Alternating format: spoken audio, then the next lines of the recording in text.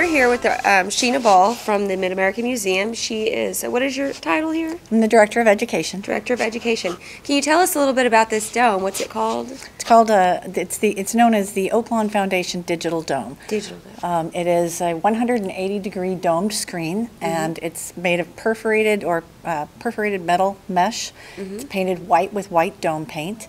And uh, it takes uh, four computers and several pieces of software to make this happen. All right, cool. And what kind of uh, video are the our kids going to get to see when they're in here? Right now, uh, we can actually do just about anything with it, but for the for this point in time, we are running two movies. One is called uh, Two Pieces of Glass: The Amazing Telescope, and you get to see the invention of the telescope and the things that early astronomers saw when they were looking through those telescopes, such as the Galilean moons and um, Saturn, the rings of Saturn. Oh, wow. um, all very beautiful photography like this. The second one is about Back to the Moon, which is the um, Google's race to um, have people build a spaceship and um, fly it to the moon. And if they succeed, they win a lot of money. Oh, wow, great. Okay, so, and you guys are reopening on uh, March 5th, is that right? March 7th, Saturday.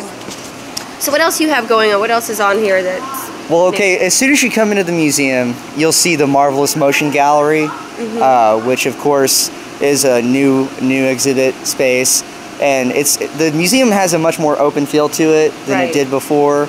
Uh, everything has this really new quality to it, even though we have a lot of old exhibits like the Rowland Emetts from Chitty Chitty Bang Bang. Yeah. Uh, but we also the the gift shop, uh, the museum store is amazing. Got all kinds of great new products in there. Uh, we've got the the light bridge, and a lot of there's a lot of video components, a lot of video exhibits Yeah, we noticed that kids can, where kids can learn about uh, stop motion animation, uh, and we've got the the two story water sculpture, which is pretty pretty fun uh, for both kids and adults. Uh, and then you know we did things like I said, like the Macedon that's been here for a while. And the Tesla coil is The still Tesla here. coil's still here. We've got a new Tesla show.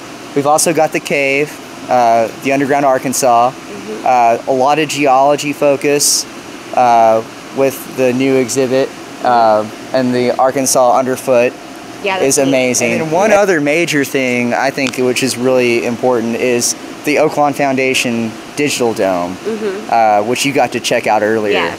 And um, That's really cool. if you're into stars, if you're into the night sky, then it's it's an extraordinary uh, new addition to the to the museum, All right. and that's thanks to the Oaklawn Foundation. So. Great. All right. Thank you Yeah. so much.